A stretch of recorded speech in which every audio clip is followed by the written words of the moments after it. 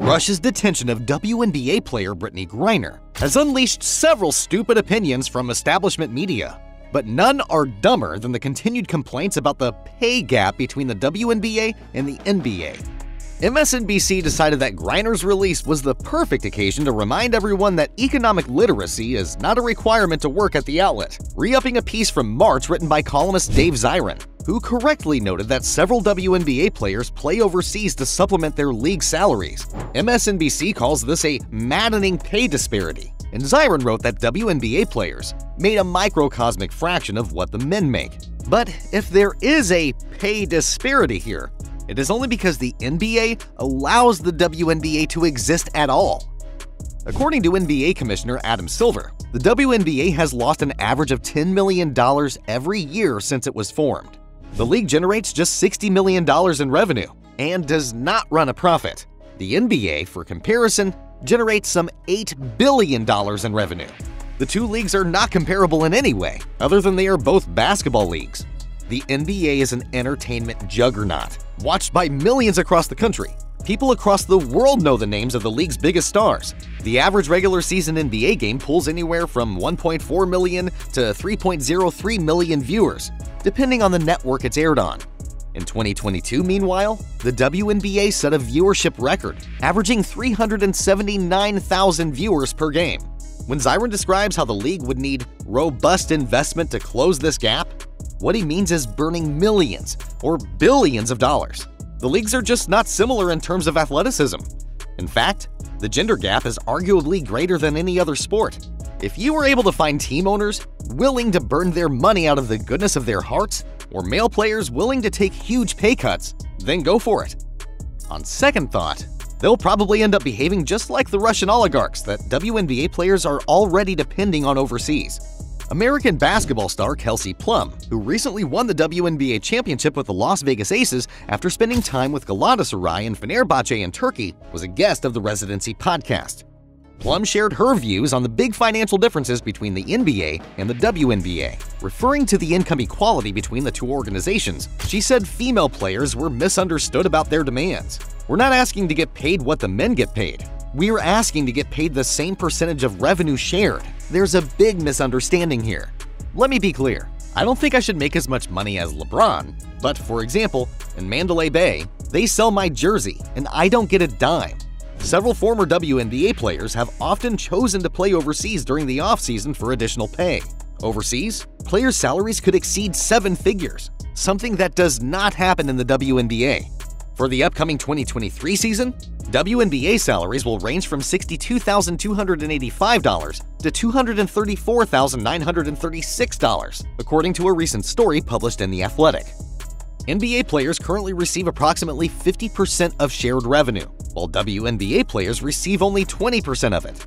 In the NBA, um, they have percentages of revenue shared for the players, right? Right. So jersey sales, obviously their TV contracts. You see these every year. These contracts get bigger and bigger and bigger, right? Yeah, massive. But but that's because their CBA it negotiates where the you know if the owners are making certain types of money, they get that as well. Got it. In the WNBA, that's not the case. Last season in the WNBA, the highest amount teams could spend in the salary cap was $1.34 million.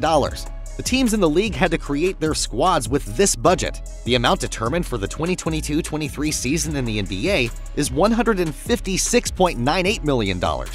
On an individual basis, the maximum contract that teams can pay their players in the WNBA is $221,450. While in the NBA, this amount is about $50 million. Enhancement of the revenue sharing model between the WNBA and NBA would put more money in WNBA players' pockets, which is something that Plum and others would like to see happen sooner rather than later. Sports commentator Jason Whitlock bluntly explains why no one watches the WNBA following Natalie Portman's comments about men not watching women's sports. Portman spoke about her activism when it comes to women's sports while promoting Thor Love and Thunder in an interview with Variety. Speaking specifically to pay equally, Portman told the outlet, It's rare to have this side by side comparison where people are doing exactly the same thing and have the same employer, and that their success is objective. You can see who wins the World Cup, who doesn't win, how many games, how many goals. It's quite statistically objective, she said.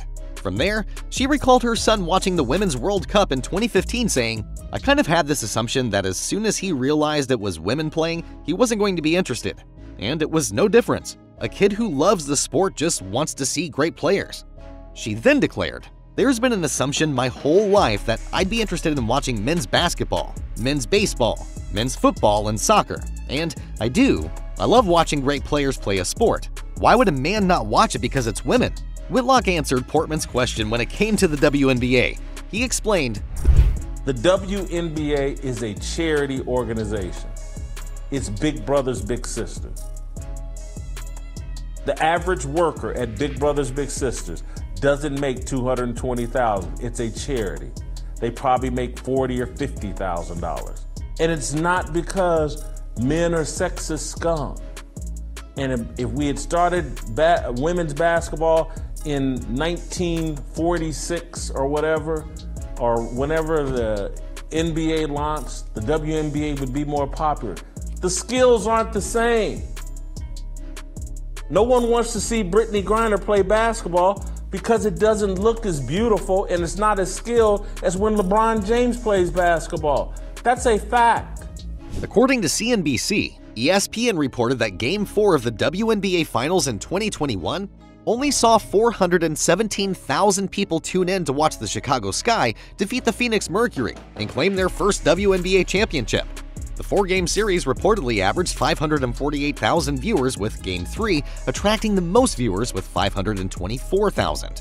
Forbes reported the NBA Finals between the Golden State Warriors and Boston Celtics averaged 12.4 million viewers, with Game 3 being the least watched, with 11.5 million viewers, and Game 6 being the most watched, with 15 million viewers.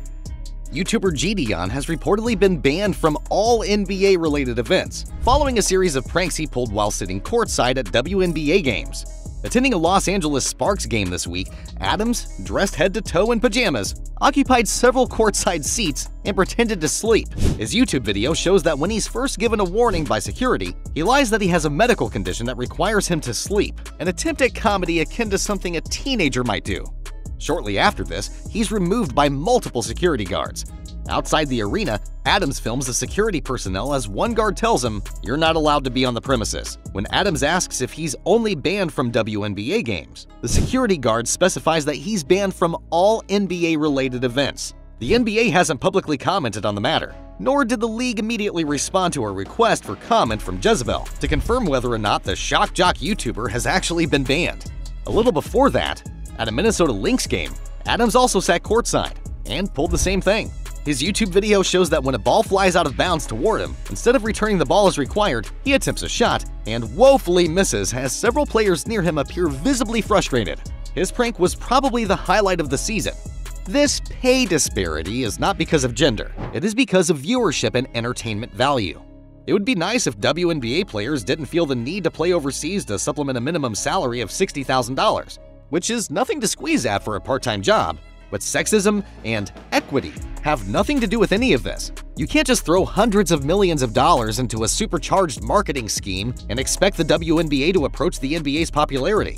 That goes double when the WNBA tries much harder than the NBA to alienate as many potential viewers as possible. Perhaps if the league wants to increase its viewership, it should start by addressing that problem, not by relying on establishment media whining to agitate for bigger salaries. Hope you enjoyed the video. What do you think about the WNBA? Let me know in the comments section. Oh, and don't forget to like the video and subscribe to our channel for more amazing NBA content.